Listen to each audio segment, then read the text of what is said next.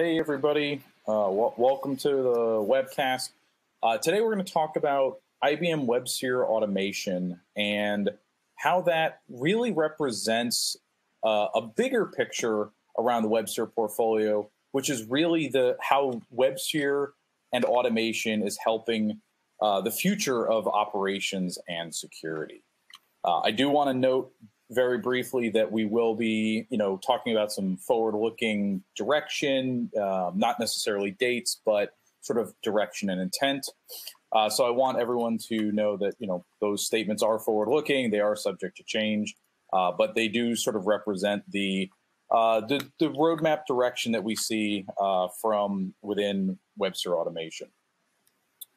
So part of how WebSphere automation came about is we've been having lots of conversations with customers around where their challenges are. And through that series of conversations, which really is ongoing, um, it really boils down to three main areas. Number one, we see an increase in complexity in the way app- applications are uh, built, managed, and deployed, right? Everything from um, basic containerization to microservice architecture applications. The this sort of old way of doing things, right? The the standard three tier application model is really no longer representative of what's being done in the industry. There's a lot more complexity in the IT environment than sort of ever before. And what that really means is that we have a lot more, um, you know, surfaces to manage and understand. And if your role is to be an operations team, a DevOps team, that complexity directly translates into, quite frankly, making your job quite a bit harder. Uh, there's also, at the exact same time, we have this increase in complexity, an acceleration of the security risks that are out there. So we know from you know industry trend experience from our own experience you know as as a mm-hmm. software vendor and a product team that the number of vulnerabilities that are reported year to year is accelerating.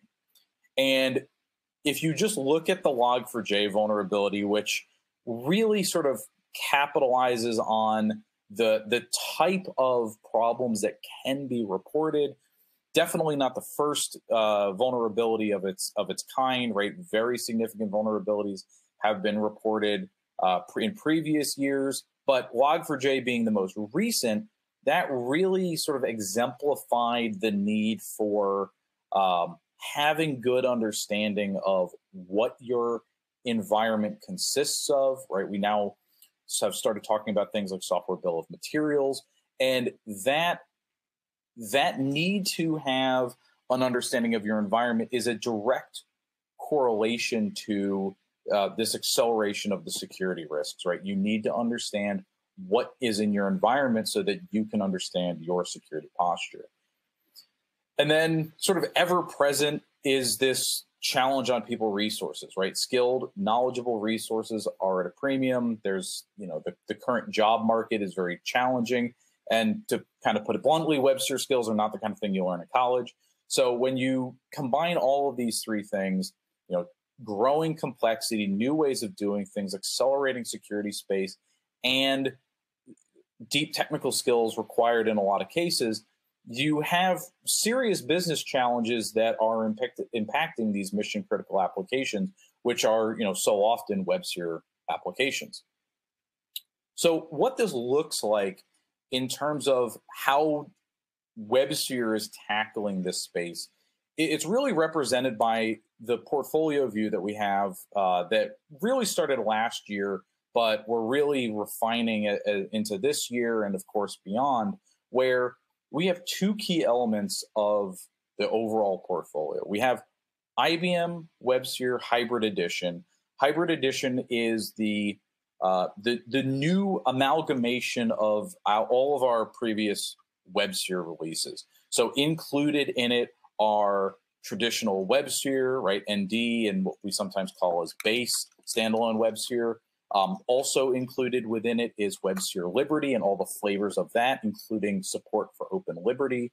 And Liberty presents a very interesting opportunity uh, because what Liberty allows us to do is deliver a, a runtime model that is supporting zero migration and continuous delivery at the same time. And we're going to talk about that uh, kind of in the next slide. But that is a piece of the overall story where the IBM uh, WebSphere strategy is really investing to help teams stay on top of the, the latest security posture so that they can be uh, secure and staying ahead of bad actors.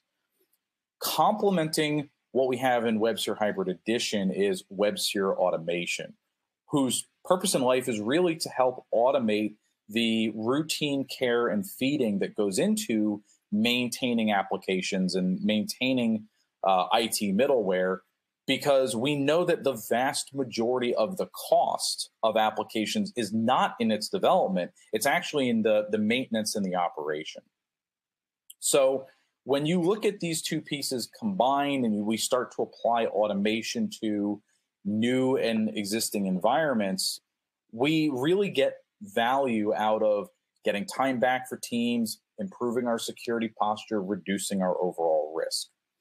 So one of the one of the things that uh, i want to touch on as part of this, but not deep dive too deeply, uh, is is the fact that we have support in Liberty to enable continuous security with the Liberty runtime and DevOps. What we mean by continuous security here is there are two key aspects of Liberty that make staying on top of the latest security fixes, staying on top of the latest security patches really, really easy. Number one, Liberty has a zero migration policy. What that means is we don't change the behavior of your configuration, we don't remove features from runtime. Essentially, you can update to the latest version, whether that's um, you know a, a big jump in terms of you know, uh, maybe you're on a version that's a year old, or maybe you're just doing the incremental releases, uh, which we do every four weeks. You can have the confidence that your application will continue to run undisrupted because we have that zero migration promise. We also now have a continuous delivery schedule, which means we have a full GA ready, production ready release of Liberty every four weeks.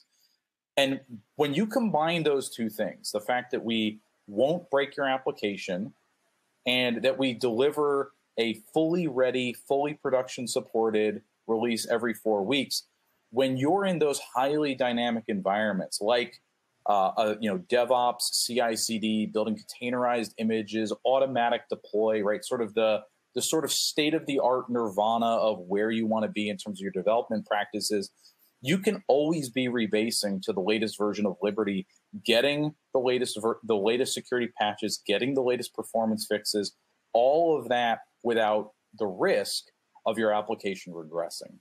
And that's one piece of the overall story where uh, WebSphere is really focused on making it easier than it ever has been for teams to stay up to date and stay secure. Mike, that that's one I'd chime in on because I think yeah, absolutely. I think when talking to um, customers that I work with too, that's the zero migration and the the single stream continuous delivery is it's actually a really big game changer and it saves it ends up saving a lot of money basically for companies just because the the effort to do a migration is no longer something they have to plan as something that's a quarterly or a um, you know semi-annual kind of upgrade that requires a lot of retest and re um, reassessment of the platform. So this it's it is a game changer to have zero migration and and that's um, you know the feedback that that I've heard from customers has been really positive and they they wish that more products that that they had that were actually sort of following the same approach. Yeah, ab- absolutely, absolutely. So so that's you can think of the value around Liberty as sort of a, a core feature, a core capability of the Liberty runtime. The the uh, and that that feeds directly into that WebSphere Hybrid Edition story that I talked about. The the other element and where we're going to deep dive a little bit today on you know what we've delivered and where we're going and how it fits into the big picture is WebSphere Automation itself. So WebSphere Automation is a new offering from IBM. Its purpose is to help automate WebSphere operations without changing your existing environment. So you can you can use this pretty much anywhere you're running WebSphere today. Um, it can connect to the existing environments that you have. You don't need to change. You don't have to be in containers. You don't have to be, you know, using modern tools. You can you can plug this into the environments that you have today, and quickly unlock increase uh, security, resiliency, and performance. Because WebSphere Automation's goal is to reduce that manual toil, remove that sort of routine care and feeding, and help you protect, heal, and optimize your WebSphere environments. And the reason we're talking about all of this automation is because automation really is a key element of a modern application environment, right? You want to be able to build and modernize your applications using the latest technology. You want to be able to deploy that in your environment of choice, whether that is a public cloud like you know AWS, Azure, Google Cloud, or IBM Cloud, or whether that remains on premises. You want that flexibility to take those applications that you're building, that your team is responsible for, and deploy them in the environment of choice and really operate them as effortlessly as possible. And that's where the, the sort of loop of the story comes in. WebSphere automation helps you manage the applications that you're building, whether they're on traditional WebSphere uh, ND or you know on newer Liberty cloud native containerized deployments. Wherever your WebSphere is deployed, WebSphere automation is able to help you operate those things. And I want to talk a little bit about what we've done and where we're going for that. But before we talk about the, the what, I, I really want to talk about the why really briefly. The the benefits around automation some are very obvious i think. Some are perhaps less obvious. And, and maybe one of the less obvious ones is actually around the risk dimension. You know automation has been great at doing um, you know t- taking away repetitive tasks uh, whether that is you know the emerging self-driving technology or something as uh, ubiquitous as a dishwasher right? That's a, that's a kind of automation that means you're spending less time doing those more tedious tasks, and you're able to spend your time doing you know more interesting, more complicated tasks. But with with automation, you can actually reduce your overall risk. And WebSphere automation in particular has been designed to help reduce specific elements of risk. So not only is there you know risk of human error that's always present when you know people are involved, um, and human error can result in things like downtime.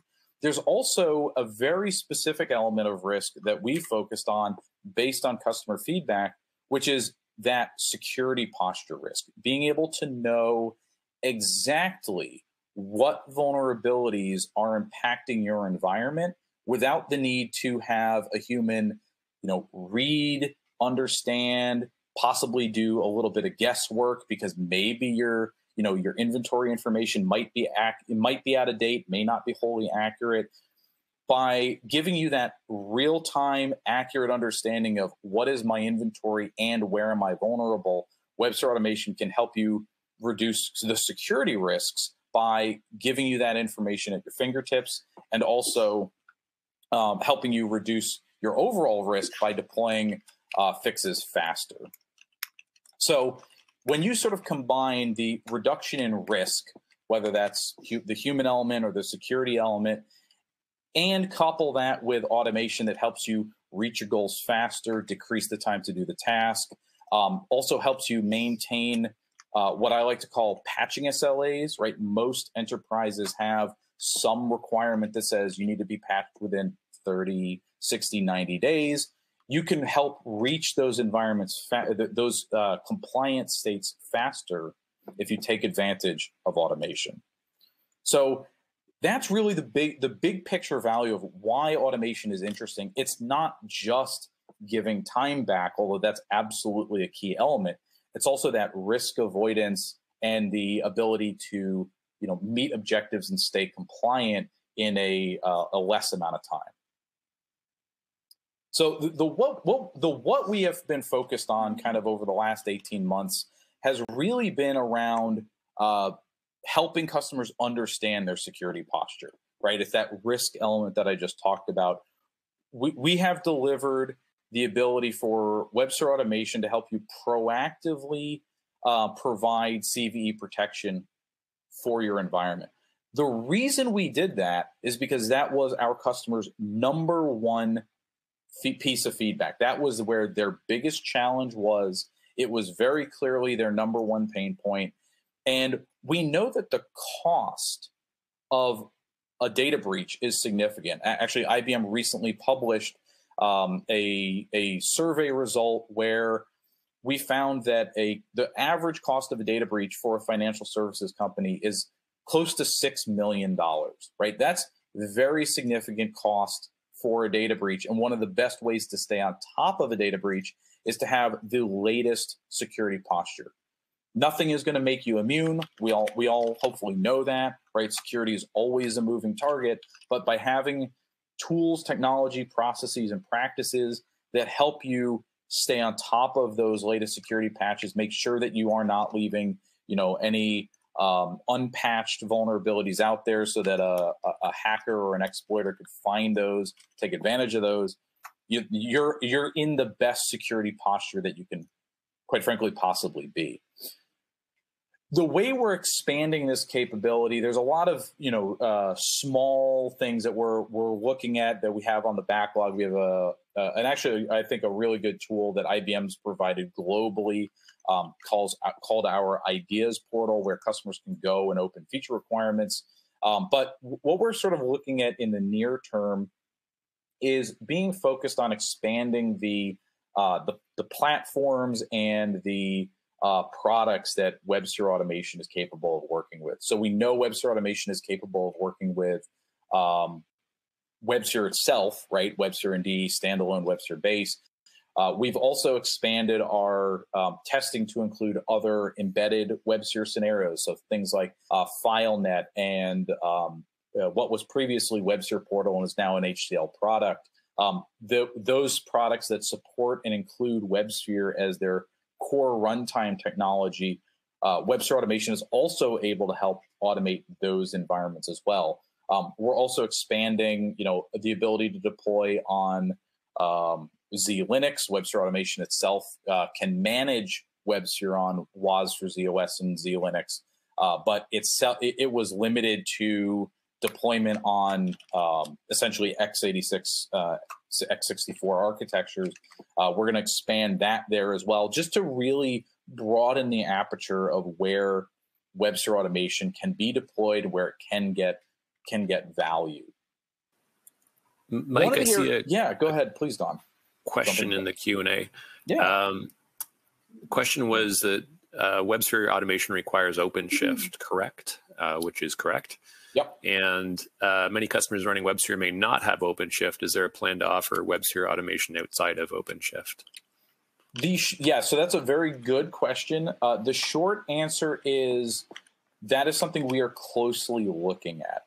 Um, to to be fair, that feedback that you know OpenShift is kind of an inhibitor to adoption, the OpenShift dependency of WebSphere automation itself. We we are we're hearing that we're taking that to heart and we're looking at what the options are. Um, quite frankly i don't have a firm statement to to say on this this call at this time but um, that's the not to be fair that's not the first we've heard of that. That is a piece of feedback that we've been carrying for uh, you know at least a few months and we were we are looking at ways to expand the deployability i'll say of WebSphere automation itself um, one thing that I do want to clarify WebSphere automation can manage the WebSphere app server instances wherever they are deployed. They do not need to be in OpenShift. They absolutely can be, and, uh, and most, quite frankly, most often are running in virtual machine environments, possibly running on bare metal. Right. The if you sort of look at the, I would say that the average distri- distribution of where WebSphere is deployed today uh, the vast majority of it, the, in th- the things that we've been building for the last, you know, 20 years, those tend to be in virtual machines. We do see a lot of adoption of containers. That is absolutely the direction we're seeing from a lot of our customers. WebSphere automation can help you in with, with WebSphere deployed in both of those cases. Um, the OpenShift dependency today is a, a deployment of WebSphere automation, the solution itself requirement, not a dependency on where WebSphere is running. Uh, but to sort of summarize, yes, we do depend on OpenShift today for WebSphere automation's deployment. Yes, we are looking at alternatives. I don't have a timeline or a set of um, details to share at this time, but uh, that's a good question. So thank you. Mike, one thing I'll jump into the, I, I think it was actually pretty interesting the the new new capability from earlier this year, where uh, WebSphere automation now has the ability to to actually be able to patch um, systems. So be able to patch your application server, whether it's WebSphere application server or Liberty. And in particular, I mean the if you think about the steps that, that people have to go through today to, to do that, and to your point earlier of consistency, reducing the risk, um, you know, there, there are a lot of, of, of, things that you have to get right to do this. And, you know, it start, starts all the way back from you have to have a good inventory of your entire WebSphere estate. And, and for some companies, that can be pretty huge. It can be hundreds of servers. Um, assuming that you know that um, and that you've got a daily kind of up to date current view of that. Uh, when vulnerabilities are coming in, you need to be able to kind of match vulnerabilities against your server estate, which again, doing that manually is not the kind of stuff that anybody really wants to spend their whole day trying to, to track down. Um, once you kind of identify which things are unpatched you want to prioritize all that kind of stuff and if you have that kind of in one place to be able to look across your estate that that really helps to you know reduce the amount of time whether you want to do it by most severe CF, cvss scores or you want to look at it more um, from the perspective of certain servers that you know are are mission critical. Um, and then actually doing the patching effort making sure that the patch um, was applied and that the vulnerability has been um, addressed. You know, verifying the the vulnerability has been remediated is another step that you have to to typically do manually. Um, and then after all that, you need to to obviously have the ability to answer uh, answer audit kind of questions like, "Hey, did I actually patch that within the SLA that I said I was going to patch that within?" Um, whether, like you said, 30, 60, 90 days, different companies take different numbers. But the point is you need some way of being able to show here's here's how long we were vulnerable to that particular issue. So this one I just thought I would put a little exclamation point on because I think it's this is a pretty important capability for for people. Yeah, absolutely. I'm, I'm glad you did, Don, because that that really is the point, right? Making it easy to know when you're vulnerable and making it easy to demonstrate that you have been uh, updated, right? And, and we've made it even easier with our latest release where you can actually now do that directly from within the tool. That that really is the core value. And if you're interested in learning more about that, uh, we've done uh, quite a few sessions around how all of this works. Uh, we've got you know uh, previous webinars where we've done uh, you know demos and sort of technology deep dives to best talk about how all of that stuff works. But if if tracking security vulnerabilities is something your team is responsible for, if deploying security vulnerabilities is something your team is responsible for, uh, we we honestly think WebSphere automation can help, and we we've kind of built it as a uh, fit for purpose solution for WebSphere user needs, and, and that really feeds into the the second scenario that uh, we want to talk about, and it's it's again a specific WebSphere user need, which is around the the general health of your application. One of the things that we delivered at the end of last year was integration with Instana to be able to proactively detect and analyze memory leaks before they actually cause uh, an outage. So through through that collaboration with the Instana team, what we ended up delivering was uh, a set of capabilities where through Instana being the monitoring solution, looking at the core metrics that are happening within uh, the WebSphere JVM, we can actually detect that memory leak kind of while it's in progress. And then WebSphere automation gets notified because it has all the information about the, the specifics of the WebSphere environment it can reach in, gather the diagnostic information that it needs, you know, primarily the memory dump, uh, the, the heap dump, and bring that back to WebSphere Automation for automated analysis. Um, and the end result of that is you actually get a report without needing to involve a person to go off and do all these steps that can be shared with the application development team or the application vendor if it's a you know a third party application so that they they can track down the source of that memory leak and we were actually i think don can can can, can confirm we were kind of surprised that that was still uh, kind of such a pervasive problem but it makes sense right we're always building applications we're always building new things and when you make changes to applications when you build new things they're not perfect right? WebSphere has been around for 20 years. Um, it's been beat up, you know, countless times. WebSphere really isn't the source of the memory leak. It's the new applications that are being built or the applications, you know, that you're you're picking up from third-party vendors that tend to have these uh, these problems. And that's a that's a maintenance nightmare for uh, the operations team because generally the operations team are not the people that built that application. They may not have the skills to jump in and diagnose a memory leak uh, as deeply as WebSphere Automation can or a developer would. And that that automated diagnostics with the automated analysis result is really really useful for reducing that time to resolution because a lot of times we find customers just accept the fact that this is a, a buggy application and implement things like nightly restarts that doesn't solve the problem if you have a you know high workload in that application and it experiences a fatal memory leak before the the, the nightly restart cycle. It, this is another place where I think automation comes in handy because trying to do this manually means that you have to be at the right moment. You have to be collecting the diagnostics from your servers. So if you if you've got a leaking app, you, you can't just wait, you know, and randomly take a, uh, a, heap dump, for example, to to try to assess the you know what's what's in your heap and what's growing and what the leaking objects are and all that kind of stuff. You have to do it at the right moment so that you've got enough objects that are in the heap that it makes it evident what the what the leak is. So that kind of stuff does lend itself nicely to automation where um, Instana would detect that you know from the trend of uh, you know the upward trend of of used heap memory is is increasing over time. And it will notify WebSphere Automation, and WebSphere Automation will immediately go get the diagnostics. So it the timeliness is just a cool aspect of of this that makes automation kind of uh, in practice more more effective than trying to do this manually.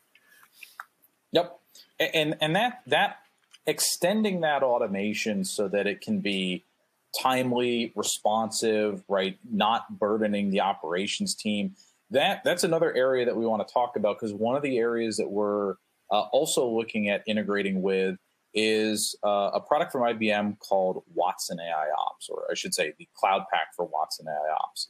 Um, Cloud Pak for Watson AI Ops is all about providing AI to understand the very complicated universe of logs and metrics across the, frankly, the entire IT stack, right? Uh, Watson AI Ops is not a WebSphere specific product. Instana similarly is not a WebSphere specific product. They both provide the ability for uh, for monitoring a broad set of things. And the value that Watson AI Ops can provide is it has visibility into logs from WebSphere, your database, MQ, right? Pick a variety of technologies it can bring all of that together, apply AI to that, and look for patterns in the chaos to best understand, you know, where your health where your health events are coming from, and provide um, recommended actions, next steps. Um, so I'm going to hand it over to Don to talk a little bit about where we're going with that work because we think this is kind of the ne- the next big area of innovation for uh, WebSphere Automation, but also you know other parts within IBM as well. So, Don. Yeah, thanks, Mike. So I I think that this, um, as Mike says, this is kind of one of the next big things, which I think the today today if you look at the most recent release of Watson AI Ops, they've got some interesting capability in that uh, for log analysis, and in particular, they're not you know they're not replacing your log aggregation system if you've got Splunk, Humio, LogDNA, Elasticsearch, right? They're not replacing that. They're assuming that you're using um, an environment that's that has the ability to aggregate or gather your logs, and they tie into that to basically uh, look for log anomalies. And uh, we've worked on the WebSphere team. We've worked with the AI Ops team to help them to be able to quickly determine if there's an anomaly in the system without uh, requiring you know extensive training of their system to be able to detect anomalies. And once they detect them, what they're able to do today uh, is they can give you a set of resolutions.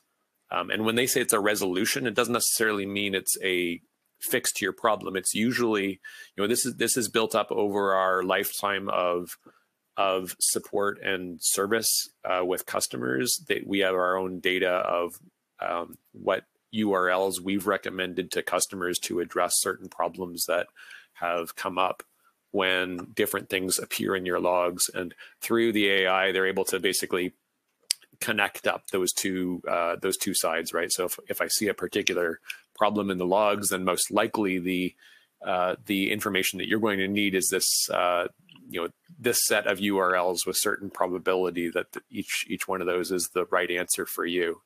So what we're trying to do with the AI ops team, the next, you know, perhaps obvious thing to do is have AI ops.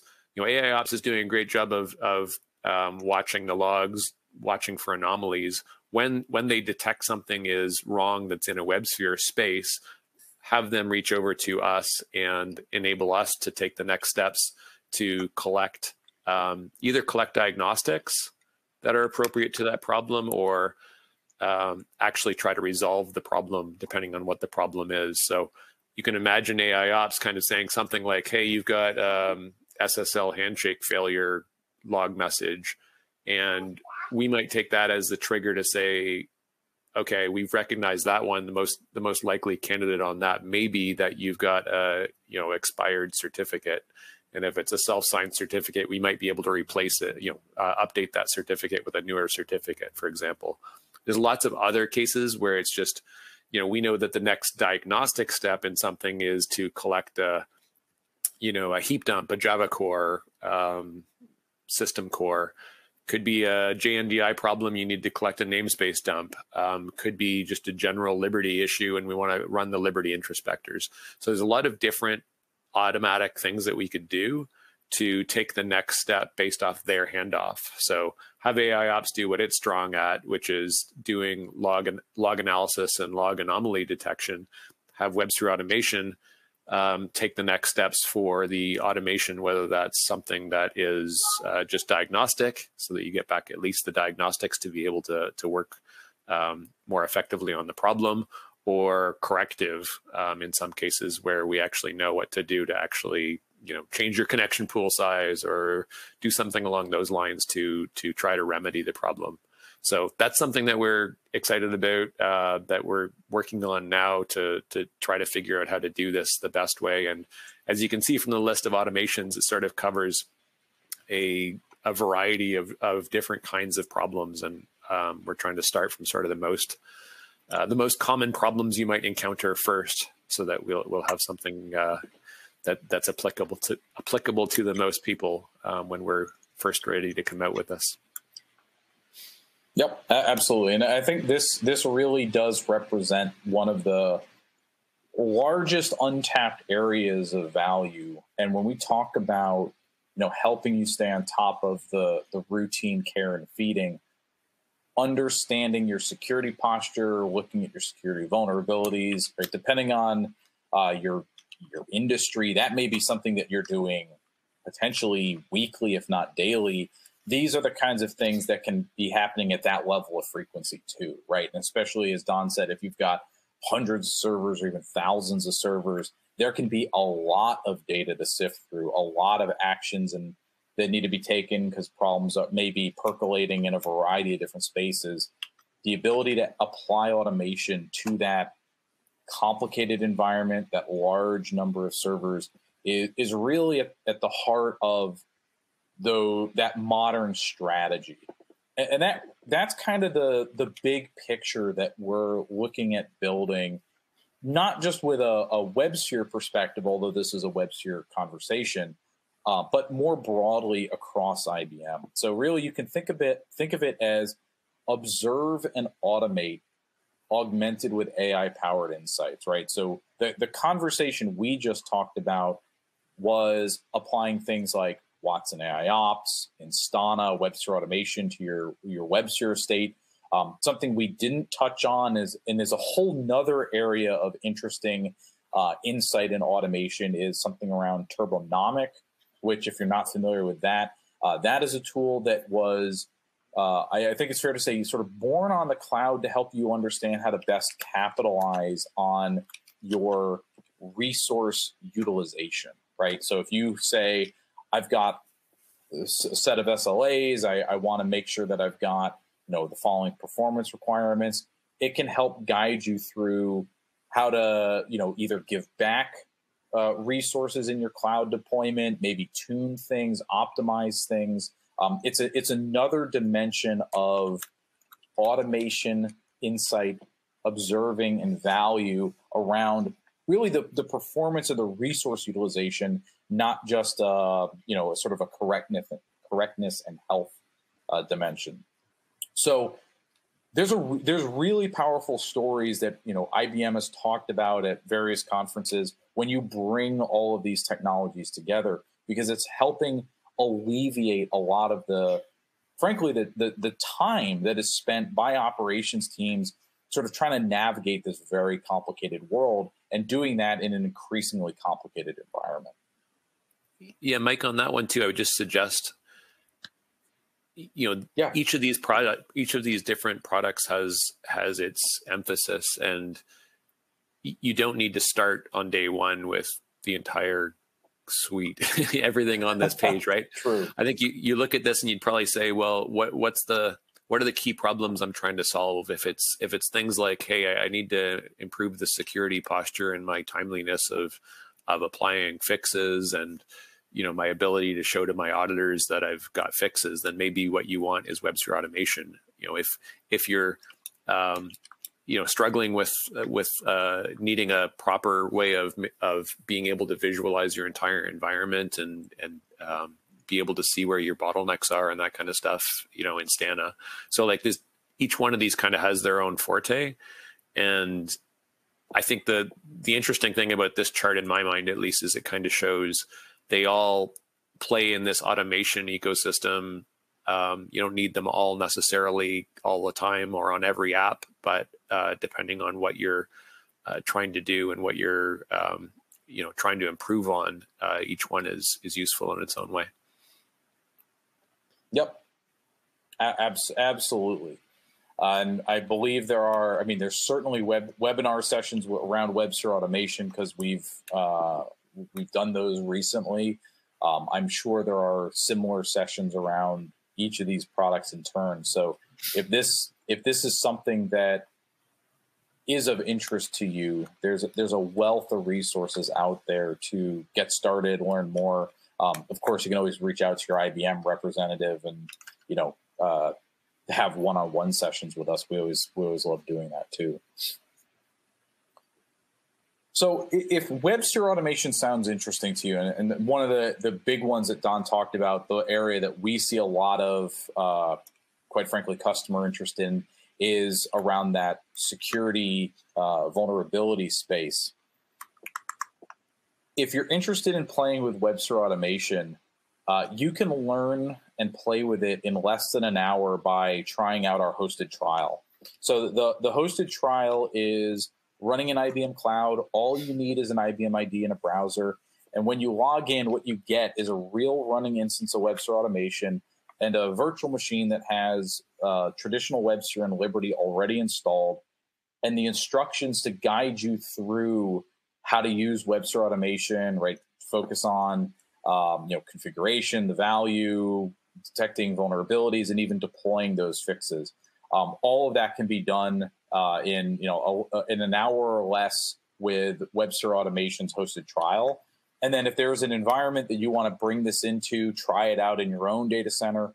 We also support that. Um, you can you can evaluate on-prem with your own workloads uh, using our our 60-day trial. You do need to have OpenShift uh, installed in order to to get going with that one, um, which is why we always recommend the hosted trial. Right, it's quick, it's easy, uh, it's a great way to just get hands-on and see is this the kind of thing that um, is going to help me out in my day-to-day.